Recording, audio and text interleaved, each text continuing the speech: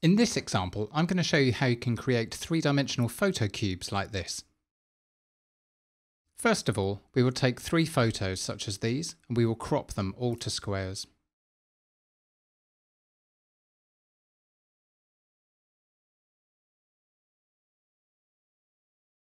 Then we'll make them the same size.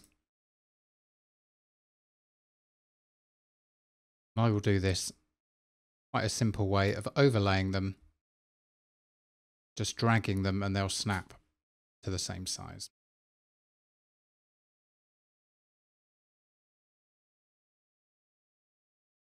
Great, so that's our first step of making three images exactly the same size and ratio. Now we can apply a different 3D rotation for each of the images to make it into the face of a cube. So we'll right click and choose Format Picture We'll go to this option effects and then we'll choose 3D rotation. From the preset menu, choose any of these. And in this case, we're going to use an isometric. So the first one we'll choose is isometric left down. And we'll click on this one. We'll choose isometric right up. And then we'll click on this one and we'll choose isometric top up. There are now the three panels you need for your cube, and we'll just drag them all in.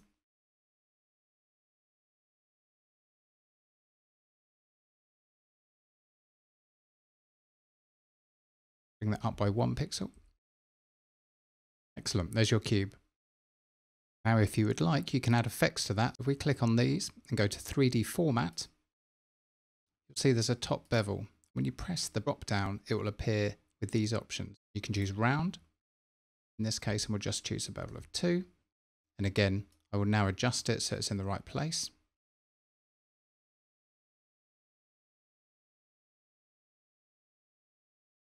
There we go.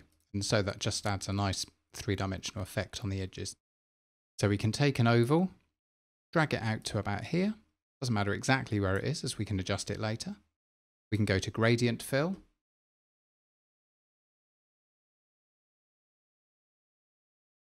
We can choose path under type. We can get rid of these other stops by dragging them off. Click on them and drag down. And at the moment, that's going from white to blue. We can click on the white bit, change it to black. We can check on the blue bit and change that to black. Now, what we want to do is make them transparent to make it give a shadow effect. So on the right hand side, which is the outer side of the circle, we will select 100% transparent. You can see it's starting to look like a shadow already. On the left hand side, select something like 40. And then importantly, we'll turn the outline off.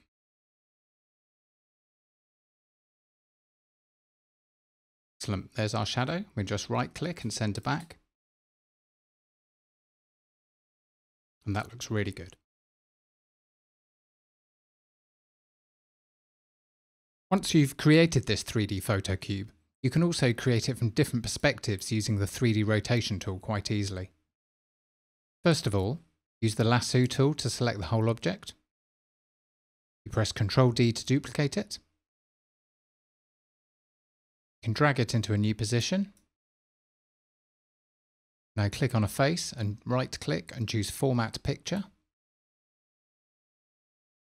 Now if we go into the 3D rotation section, we can just select a different preset.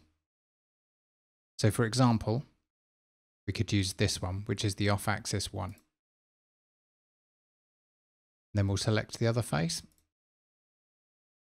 and select off-axis one left. And the third face and select off axis one right. And then we'll just drag them down so they're aligned. Just use the keyboard cursor keys there to get it exactly in the right position. And there you can see you easily have made a different rotation of the 3D cube. I would always recommend that whichever rotation you like, you stick to using the same rotation for all of your imagery on the screen. Otherwise, it's quite confusing from a three-dimensional space to see a lot of things at different rotations on the same slide.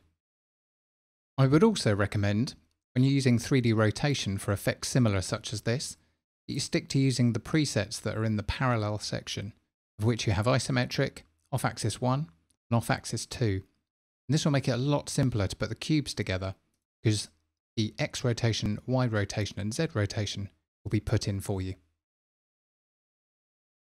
And here is an example of how we can use the cubes in a nicely designed slide. I've taken the cube that we created earlier, I've duplicated it into three places, then I've added a small bit of animation. Just play that now.